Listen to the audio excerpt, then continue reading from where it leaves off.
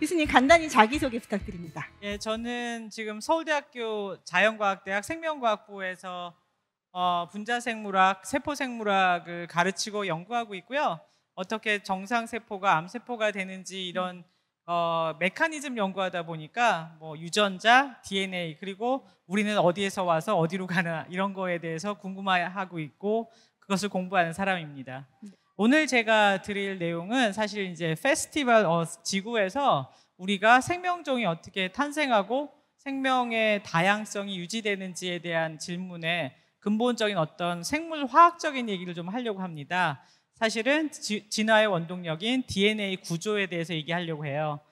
어, 이 보시는 이 사진은요, 이 여기 이게 그 상당히 재미있는 것인데 그 DNA 구조를 발견해서 어, 분자 생물학의 그 탄생지가 되고 뭐 단백질의 구조도 발견한 그 영국 케임브리지의 그 어, 분자 생물학 연구소에 있는 조형물입니다. 이것의 제목은 그 What Mad Pursuit, 그러니까 영어를 우리말로 그대로 번역하자면 어, 무슨 미친 추적 이런 건데 이런 이, 이 제목은 실제로는 그 DNA의 구조를 발견하고 유전 암호를 해독한 프란시스 크릭이 자신이 어떻게 유전자를 발견했는지에 대해서 쓴 책의 어, 그 제목이에요. 그리고 이 제, 조형물은 보시면 DNA의 이렇게 그 나선 구조를 보이고 있고 각각의 생각의 흐름들이 나와 있는데 이것을 만든 사람이 누구냐? 프란시스 크릭의 손녀인 캔드라 크릭이라는 분입니다. 그 젊은 어, 미술가이기도 하고 과학자인데 프린스턴에서 분자 생물학을 전공하고 지금은 미술가로 활동하는데 그가 만든 이 조형물이 어쩌면 지금 우리가 나날이 변하는 지구에서 진화를 이야기하고 유전을 얘기하는 상징적인 게 아닌가 싶어서 제가 실었습니다. 어, 사실은 이 이야기를 빼놓을 수 없습니다. DNA의 구조가 발견된 것은 20세기에 역사만 바꾼 것이 아니라 사람의 정신세계 어, 어쩌면 생각의 흐름까지 몽땅 다 바꿔버린 어, 기념비적인 사건입니다. 그 사건은 사실은 이 두 명, 어, 프란시스 크릭과 제임스 워슨에 의해서 주도되었으나 당시는 사실 2차 세계대전 이후에 여러 가지 그 어, 생각이, 그 철학이 사실 이 DNA 구조의 발견을 가능하게 했던 것입니다.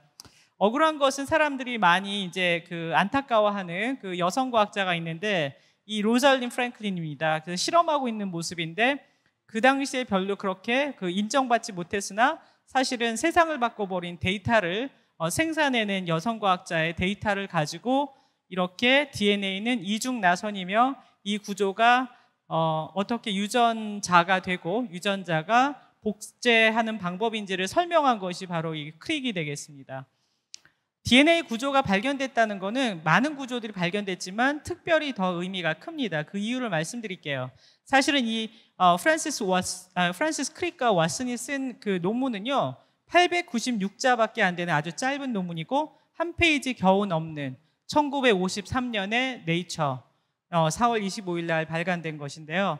여기서 이 데이터는 그 아까 그 불운의 여성 과학자 로잘린 프랭클린의 데이터입니다. 엑스레이 회절 기법을 사용해서 DNA의 그 구조를 이제 찍은 것인데 이것을 보고 어, 프라, 어, 크릭은 하룻밤 만에 이게 DNA는 이중 나선이라는 것을 어, 생각을 해내서 논문을 썼습니다. 모든 것이 사실은 요새 세상의 기준에 맞지 않지만 실제로 이 논문은 어, 제가 가장 좋아하는 논문입니다. 왜냐하면 여기에 이 간단한 이 데이터 하나 가지고 이 이중 나선을 설명하면서 크릭은 다음과 같이 씁니다. 아, 이 구조를 해독을 하고 난 다음에 우리는 이것이 어떻게 유전자가 복제하는 방법인지를 그 구조를 보고 알아챘다라는 표현을 써요. 그것을 우리는 놓치지 않았다. 이게 이제 과학자가 가장 희망하는 것입니다. 그러니까 데이터를 기반으로 새로운 생각을 해서 가장 생명의 비밀을 풀어내는 것.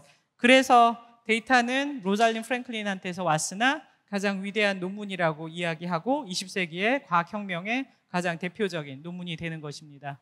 자, 그래서 사실은 뭐 이중 나선에 대한 이야기나 DNA 구조 논문은 그거 하나만 있었던 건 아니고 로잘린 프랭클린도 썼고 다른 사람도 써서 1953년은 소위 말해서 기적의 해라고 했었습니다. 그러니까 DNA가 유전자이며 유전자가 어떻게 생겼는지를 밝힌 해였기 때문인데요. 어, 네이처는 이 1953년을 틈만 나면 기념합니다. 뭐 10년, 20년만 하는 게 아니라 어떤 때는 그 저기 63년도 막 기념하고 막 이래요. 왜냐하면 이것이 바로 네이처라는 학술지를 세계 최고의 학술지로 만들었던 것이기 때문입니다. 어, 6개 논문 중에서 5개가 네이처에 실렸고 다른 하나가 다른 저널에 실린 거였으니까 얼마나 자랑스럽겠습니까? 이렇게 유전자를 발견하는 것, 유전자의 구조를 발견하는 것이 생명의 암호를 푸는 그런 작업이었기 때문입니다. 그 시작을 했으니 대단한 일이었다고 생각됩니다. 자, 그럼 유전자가 무엇이냐? 여러분들이 혹시 그, 어, 진핵생물이라고 우리 인간의 유전자가 담긴 모양은 그 그릇이 박테리아와 되게 다르다는 것을 아시는지 모르겠어요. 박테리아는 그냥 DNA가 있습니다. 그게 유전자예요. 그러나 어, 핵이 있는 사람 같이 이제 진핵생물이라고 하는 어, 생명체들은 이렇게 유전자가 워낙 길어서 한 세포당 한 2m 정도 되거든요. 쫙 펼쳤을 때. 그래서 그걸 세포 분해할 때 문제가 생깁니다. 그래서 굉장히 고도로 꼬여서 염색체라는 곳에 담겨져 있습니다. 그래서 복제도 완벽하게 하고 나뉠 때도 정확하게 둘로 나뉠 수 있도록 어떻게 보면은 어떻게 이렇게 신비롭게 그 기획이 됐을까라는 생각이 들 정도로 놀라운 염색체인데요. 이 DNA는 암호로 이렇게 ATGC의 암호로 되어 있는데요. 이 ATGC는 사실은 이것들이 조합해내는 암호가 바로 생명의 암호가 되겠습니다. 자, 이 DNA가 유전 정보예요. 그러면 DNA가 모든 생명 현상을 정복한다고 저는 이야기합니다. 왜냐하면 DNA는 복제를 해서 세포 분열을 할 때나 생식 세포에 전달하고 자손한테 전달하는 일도 하지만 DNA가 전사가 돼서 RNA 전달자가 되면 이 RNA에 맞춰서 짝맞춤으로 세 개의 그, 그 뉴클로타이드당 하나의 아미노산이 결합되는 방법을 통해서 어, 단백질이 생깁니다. 그리고 이 단백질이 대부분의 우리의 생명 현상을 영위하게 되죠. 약간 여담으로 말씀드리자면 어, 유전자의 그 어, 존재를 쫓던 그 1940년대 말 1950년대 똑똑한 과학자라면 뭐 미국 칼텍의 라이너스 폴링부터 시작해서 모두 다 단백질의 구조를 밝히면 유전의 비밀을 밝힌다고 생각했어요.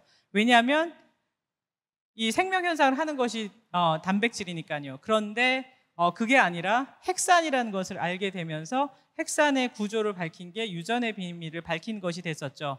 이렇게 DNA가 단백질로 어떻게 코딩되는지를 실험을 일, 그 아주 일부의 다른 사람들의 실험 데이터를 가지고 DNA가 RNA가 되고 단백질이 된다는 이런 어, 이론을 편 것, 이걸 중심 이론이라고 얘기하는데 central dogma 이게 이제 프란시스 크릭이 만들어낸 것입니다. 오늘날에는 이게 약간 더 발전을 해서 어, 뭐 이렇게 코딩하지 않는 RNA도 있고 바이러스에서처럼 역전사도 돼서 RNA가 DNA가 된다는 것도 알려지고 해서 보정이 되고 보완이 많이 됐으나 중심 이론이 변하진 않습니다. 즉 DNA는 RNA로 전사가 되고 전사된 것이 번역이 돼서 단백질이 일을 하고 대부분의 경우에 이렇게 다른 것들이 도와주는 것이죠. 생명 현상의 비밀이 되겠습니다. 자, 그래서 그 DNA 구조에 대한 이야기를 하면 어린 친구들은 조금 어, 귀, 어, 어, 어떻게 보면은 좀 재미없어질지 모르겠는데 사실은 어쩌면 어린 친구들이 더 좋아질 수도 있어요. 이게 되게 암호입니다. 자, 여기 보시는 이 그 모형은 어, 실제 프란시스 크릭과 왓슨이 어, 만들었던 모형이고요. 제가 그 공부하고 학교 다닐 때는 이게 3층 복도, 그러니까 계단 올라가는데 그냥 딱 서 있었어요. 근데 이게 이제 그, 그 분자생물학 연구소가 커지고 새로 건물을 지어서 몇 년 전에 어, 갔더니 이 이제는 문 앞에다가 당당하게 그 대우를 해주는 어, 그런 모습입니다. 이것이 그 그림을 그리면 이렇게 돼 있는데 당과 인산이 이렇게 기둥을 만들고요. 사이에 염기라고 부르는 것들이 다른 구조를 가지고 있는 게 네 개 있는데 아데닌, 과닌, 어, 사이토신, 어, 그리고 사이민 이런 것들이 각각이 서로 수소 결합을 하고 있는 형태입니다. 그래서 이 염기의 그 서열에 따라서 오른손으로 휘기도 하고 왼손으로 휘기도 하고 그래서 이것을 기본적인 워슨 크릭의 모델이라고 부릅니다. 이것이 가장 흔하게 보는 DNA의 그 모형이 되겠습니다. 자, 그런데 저는 그 모든 구조, 그 화학 구조에서요, 이 수소 결합에 주목하고자 합니다. 오늘의 어쩌면 주제가 되겠습니다. 자, 우리가 생명의 근원이 물이라고 얘기를 해서 그 외부의 그 행성에 생명체가 살고 있을까 할 때 나사에서는 주로 물이 있는지 그 흔적을 따집니다. 왜 그럴까요? 저는 그게 수소 결합 때문이라고 감히 말씀드리겠는데요. 자, 수소 결합이라는 건 간단히 얘기해서 굉장히 약한 양전하를 띠는 이 수소 이온이 그 강한 음전하를 띠는 걸 만났을 때 이게 인력으로 반대로 봐서 힘보다는 좀 더 세게 당기고 공유 결합보다는 좀 작지만 그래서 분자 간에 이렇게 인력을 가지고 있는 것을 이야기하는데요. 수소 결합은 우리 생체에서 굉장히 중요한 역할을 합니다. 자, 바로 이 DNA가 이중 나선일 때도 그런 건데요. 한 가닥도 DNA입니다. 그러니까 그거를 한 가닥 DNA라고 부르는데요. 한 가닥 DNA는 반드시 이렇게 다른 가닥에서 아데닌이 타이민을 만나거나 어, 구아닌이 사이토신을 만나면 이렇게 두 개 혹은 세 개의 수소 결합을 하게 됩니다. 따라서 이렇게 금방 어, 이중 나선이 되는 것입니다. 이 방법은 DNA가 RNA로 복사될 때도 전사될 때로 마찬가지라서 이 수소 결합이야말로 DNA의 암호 그리고 전사 번역에 있어서 가장 핵심적이기 때문에 생명 현상의 가장 큰 비밀이라고 볼 수 있는 것이죠. 왜 우리 지구가 물이 필요한지 70% 물로 덮여 있는지 우리 몸이 왜 이렇게 물이 많이 필요한지 여기서 알 수 있습니다. 자, 그러면은 제가 이 생명종이 다양하게 되는 것은 DNA 구조 때문이라고 얘기했거든요. 왜 그런지 말씀드릴게요. 바로 복제할수록 DNA는 변이가 많아질 수밖에 없기 때문입니다. 그것을 좀 그 애니메이션으로 그렸는데요. DNA가 이렇게 있으면은 얘가 복제할 때는 이게 한 가닥으로 풀려야 돼요. 한 가닥으로 풀리면 거기에 맞춰서 이렇게 수소 결합들이 옵니다. 그때 이 단백질들이 도와주죠. 사실은 RNA 프라이머도 있고요. 그러면서 두 가닥이 점점 점점 어, 양쪽으로 어, 복제가 돼서 어, 한 세트를 더 만들게 됩니다. 이게 바로 DNA 복제 방법이에요. 자, 이러면 이 복제 과정에서 단 한 번도 오류가 없었을까? 그렇지 않습니다. 계산을 해보면 한 번 세포 분열할 때 보통 한 3만 개 정도의 돌연 변이가 생길 수 있습니다. 그런데 그렇게 하면은 우리는 이제 존재하지 못할 거예요. 왜냐하면 눈도 제대로 이 눈의 모양일 수가 없고요. 그러니까 생명은 존재하지 않게 됩니다. 그래서 그것을 이제 어떤 진화가 이루어졌냐면 이 복제를 할 때 쓰이는 이 DNA 중합 효소라는 것이 다시 돌아가서 읽어서 틀린 오탈자를 고치는 기능을 가지고 있어요. 그거를 이제 프로피딩이라고 하는데 그렇게 하면은 복제할 때 발생하는 에러보다 한 100배 정도 에러를 낮춥니다. 근데 그것만으로도 사실 우리가 이렇게 80평생을 살거나 심지어는 박테리아가 그렇게 많이 복제될 수도 없습니다. 그래서 그 다음에는 뭐냐면 잘못된 DNA는 수선하는 기작을 가집니다. 그래서 그 기작을 통해서 한 100배 정도 또 낮아져요.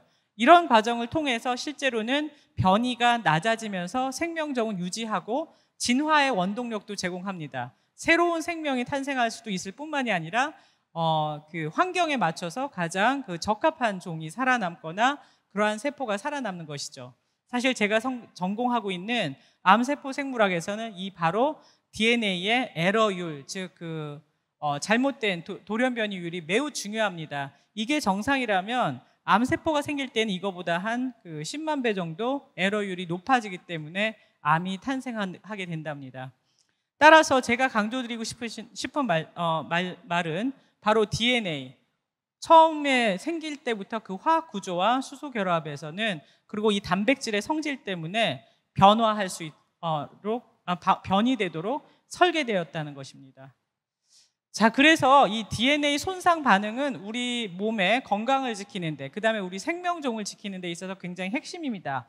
그래서 이게 DNA 손상 반응, 반응이라는 것은 어, DNA를 고쳐야 되니까 문제가 됐을 때 세포를 딱 멈추고 고쳐야 된다. 그래서 셀 사이클이라고 하는 세포 주기의 그 저기 조절 메커니즘도 포함하고 너무 심하게 DNA가 손상되면 죽어야 된다라고 해서 어, 그 프로그램 프로그램 되어 있는 세포 사멸 포함하고요. 그 다음에 어, 당연히 이 세포 주기가 멈춘 동안에 DNA로 수선하는 기작을 포함하는데 이 세 개의 기작은요 보시다시피 2001년, 2002년, 2015년에 노벨상으로 모두 다 그 기념이 되었습니다. 즉 DNA 손상 반응은 우리 그 생명에 있어서 가장 핵심적인 그 어, 질문에 대한 답이기도 하면서 생명의 다양성 그리고 왜 질병이 생기는지에 대한 답을 주고 있기 때문입니다.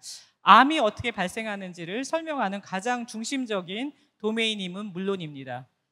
어, 제가 그 많이 이야기하는 텔로미어 얘기를 하지 않을 수가 없어요. 지금까지 드린 말씀은 어쨌든 코딩되는 유전자들이 변화됐었을 때 어떤 일이 생기는지, 즉 DNA의 구조에 대한 말씀을 드렸는데요. 이 텔로미어는 어, 진핵생물에서 염색체의 맨 끝, DNA 맨 끝을 얘기합니다. 즉 여기서는 어떠한 단백질도 코딩되지 않습니다. 그런데 굉장히 중요하다고 얘기를 해요. 왜 중요한지 그리고 그게 어떻게 또 오늘 얘기하는 어, DNA 구조하고 연결되는지를 말씀드릴게요. 이 2009년의 노벨상은요, 이 엘리자베스 블랙번, 캐롤 그라이더, 잭 소스텍 세 명한테 주어졌는데 텔로미어의 구조를 밝히고 텔로머레이즈의 구조를 밝혀서 염색체가 어떻게 보호되는지를 밝혀서 어, 그 암이 어떻게 생기는지, 노화가 어떻게 되는지에 대한 비밀을 밝혔다고 해서 줬거든요. 왜 그런지 말씀드리겠습니다. 이 텔로미어라는 거는 사실은 염색체 맨 말단인데 엘리자베스 블랙번이 호주 출신의 과학자가 했던 것은 사실은 이 Tetrahymena라는 그 하등 동물에서 이 유전자 서열을 계속 보고 특이한 반복 구조가 있다는 것을 밝혔을 뿐입니다.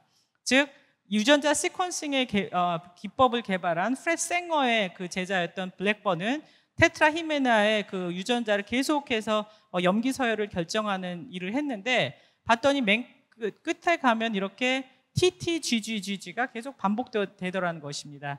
이것을 그는 어떻게 생각했냐면 아무런 데이터 없이 아마도 이것은 텔로미어일 것이고 이 텔로미어의 유전자의 그 시퀀스가 어떻게 염색체 말단이 보호되는지에 대한 비밀일 것이라고 생각했어요.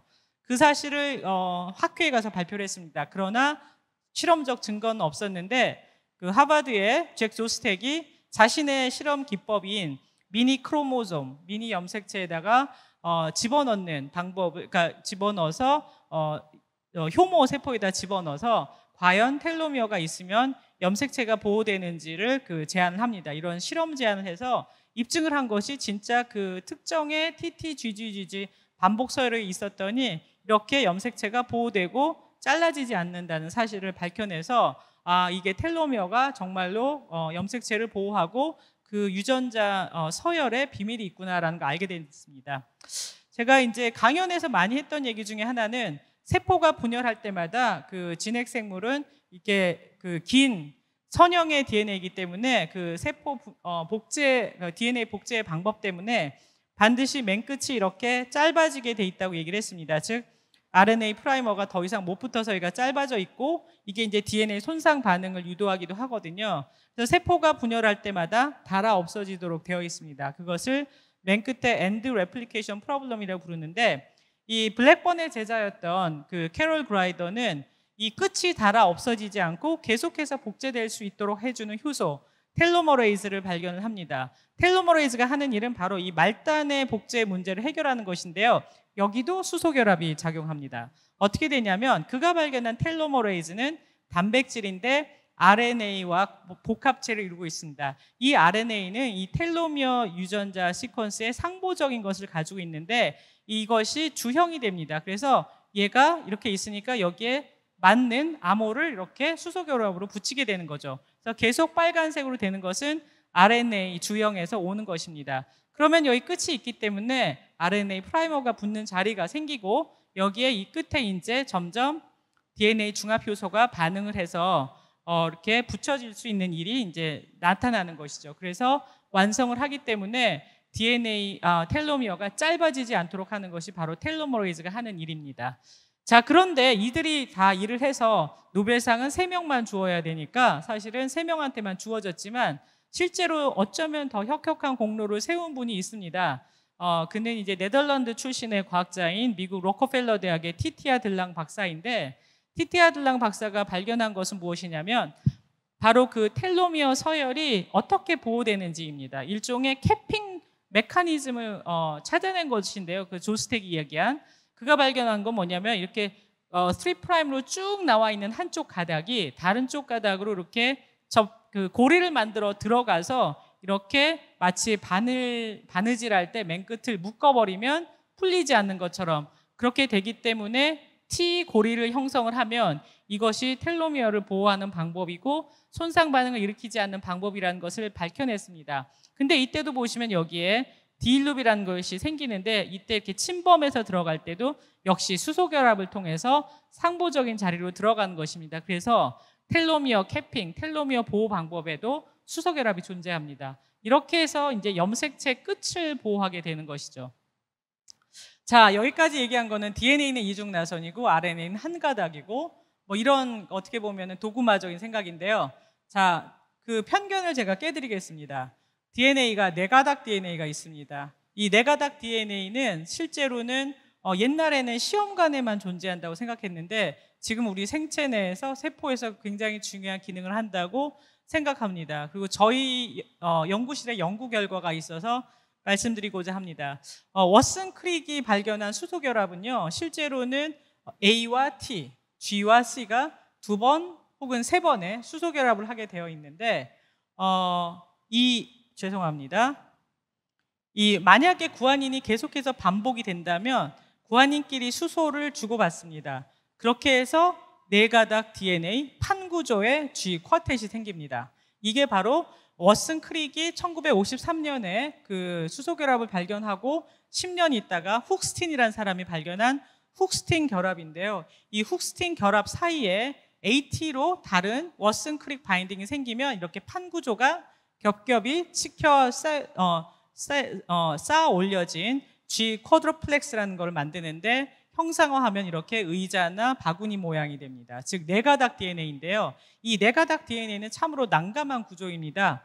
이렇게 되면 한 가닥이 풀려서 네 가닥이 돼버리면 어, DNA 중합 효소도 들어갈 수 없고 텔로머레이즈도 들어갈 수 없습니다. 텔로미어에 존재하는 구조이고요. 그리고 이거는 그래서 실제로는 이렇게 잘라져야지만 아마 DNA 종합, 중합 효소가 지나가게 될 겁니다. 실제로 어, 어, 암흑제인자 브라카2가 고장난 데서는 보면은 이렇게 텔로미어 가닥이 잘려 나가서 갭을 중간중간에 띄엄띄엄 갭을 형성하는 것을 볼 수 있습니다.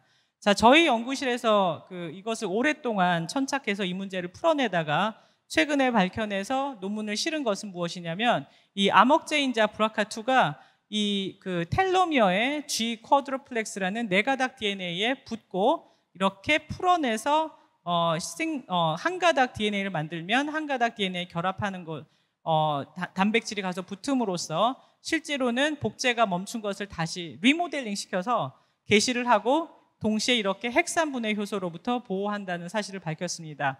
이렇게 텔로미어 구조와 우리의 암흑자 인자는 일종의 그 줄다리기 혹은 시소 게임을 하면서 서로 DNA를 조정하게 되는 것이죠. 그것을 이제 저희가 발견한 건 이렇게 왔다 갔다 하는 그 바구니 모양에서 잘리지 않도록 BRCA2가 붙고 이걸 리모델링 해가지고 얘를 넘겨서 결국은 텔로미어의 복제 항상성을 유지한다는 어, 내용입니다.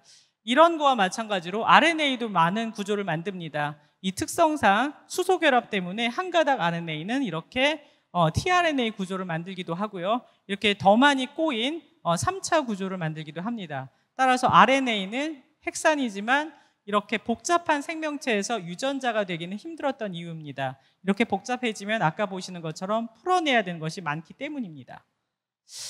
그것을 보시면 사실은 이제 아직도 끝나지 않은 코로나에서 우리가 RNA가 이 코로나의 핵산이라는 것을 알고 있습니다. 유전 물질인데요. 이것이 어, 우리 세포에 들어갈 때는 이 RNA만 들어갑니다. 이것이 만들어내는 구조는 사실은 이 sequence를 알면은 어떻게 구조가 생겼는지를 우리가 그 불러내서 어, 알 수 있는데 이렇게 loop이 되게 많고 hairpin도 많은 그런 구조를 가지고 있죠. 자, 이렇게 구조를 알면 어떤 일이 생길지를 예측을 할 수 있습니다. 최근에 AI를 이용한 딥러닝 그 기법을 활용하면 어, 주어진 그 DNA 그 염기 서열을 보고 그것이 RNA가 만들어내는 어, 서열이라고 알거나 RNA 염기 서열을 결정한 다음에는 얘가 어떻게 생겼을지를 예측을 해낼 수 있답니다. 이렇게 해, 하, 면은 자, 네 가닥 DNA 얘기까지 했는데요. 세 가닥도 존재합니다. 세 가닥은 어떻게 존재하느냐? DNA 두 가닥, RNA 한 가닥. 얘네가 혼성체를 만들면 세 가닥이 됐는데요. 소위 R룹이라고 부르는 것입니다. 언제 생기느냐? DNA 복제하고 어, RNA 전사가 충돌을 했을 때 그때 RNA도 나오고 DNA도 있으면 어, 세 가닥의 R룹이 생기게 됩니다. 이런 애들은 아주 복잡해지죠. 그래서 이게 다 잘라내야 되기 때문에 RNA에서 H1이 잘라내버리면 문제가 또 생기고 그래서 변이의 원동력이 또 되기도 한답니다. 새롭게 나온 구조고 그 다음에 우리가 이것에 대해서 다 알지 못하지만 어쩌면 생명의 종의 다양성, 더 많은 병의 원인 이런 것이 이 세 가닥 DNA, 어, DNA, RNA 혼성체 알루비 원인이 아닐까라고 생각해 봅니다. 자, 그래서 우리가 이 유전 암호를 풀면서는 드디어 이렇게 배를 짜듯이 실제로는 조작을 할 수도 있다는 것을 알아냈습니다. 이 아주 간단한 수소결합의 원리를 이해하고 있기 때문이죠. 2020년 노벨 화학상으로 기념된 바로 그 유전자 편집 기술입니다. 유전자 편집 기술은 사실은 그 바이러스와 생명체, 그러니까 박테리아의 어, 선천적 면역 거- 과정을 보면서 알아낸 것인데 그것을 다음과 같이 응용을 해서 어, 유전자를 조작할 수 있는 방법들을 만들어낸 것이죠. 그래서 편집 기술이 발전했는데 이 방법은 사실은 코로나를 자- 진단하는 방법에도 쓰였답니다. 자, 이런 세상에 살다 보니까 모든 것이 이제 컴퓨터화 할 수 있습니다. 유전 암호처럼 컴퓨터 암호, 어, 컴퓨터화 하기 좋은 어, 소재도 없답니다. 그래서 DNA의 그 시퀀스를 알고 RNA를 알고 그 다음에 단백질을 그 어, 알아내게 된다면 더 많은 데이터를 넣으면은 그 마치 그 알파고가 바둑을 두듯이, 두듯이 그 기계 학습을 통해서 단백질의 구조를 모두 다 예측해낼 수 있습니다. 그게 바로 이제 어, 한 3년 전에 구글의 딥마인드가 발표했던 것이고 지금 현재는 대부분의 단백질을 이렇게 AI의 알고리즘이 그 구조를 예측해내게 되는데요. 이렇게 하면은 신약 개발에 굉장히 많은 도움이 되고 있습니다. 따라서 앞으로의 미래의 지구는 이렇게 될지도 모릅니다. AI하고 결합해서 이런 일이죠. 어, 2030년 10월 23일에 그 어떤 아파트에 전화가 옵니다. 따님이 왜 아빠가 전화를 안 받지? 라고 했는데 가서 보니까 아빠가 쓰러져 있어요. 노인들이죠. 그래서 생각한 것은 뭐냐면 AI 비서를 두는 것입니다. 이 AI 비서한테는 어떤 게 필요할까요? 즉, 그 진단을 해서 데이터를 보내는 기능만 있다면 어쩌면 건강을 관리할 수 있을 것입니다. 그렇게 해서 이제 그 관리를 하고 난 다음에 뇌파, DNA, 그 다음에 여러 가지 간질 검사 같은 거를 병원에도 보내고 딸도 받아보는 것이죠. 돌발 시에는 병원에 데려갈 수도 있습니다. 그래서 어, 그 위험의 순간을 넘겨서 건강을 유지하는 그런 지구가 될지도 모른다는 생각입니다. 이 모든 것을 가능하게 한 것 어쩌면 DNA 암호의 발견이 그 원인일 수도 있겠습니다. 아, 그래서 앞으로는 아마도 보편적으로 어디에서나 작은 병원에서도 DNA 특징과 RNA 특징을 모두 다 활용해서 AI와 결합한 새로운 진단 기술을 만들어서 많은 병들을 빠른 속도로 진단해내고 감염병만이 아니라 굉장히 싼 진단을 하게 될지도 모르겠습니다. 어, 이것이 어쩌면 1953년에 나온 논문이 그 획기적으로 일으킨 그 어, 혁명이기 때문에 저는 사실 3세기에 일어날 일이 30년 만에 일어났다고 생각합니다. 이상입니다. 경청해 주셔서 감사합니다.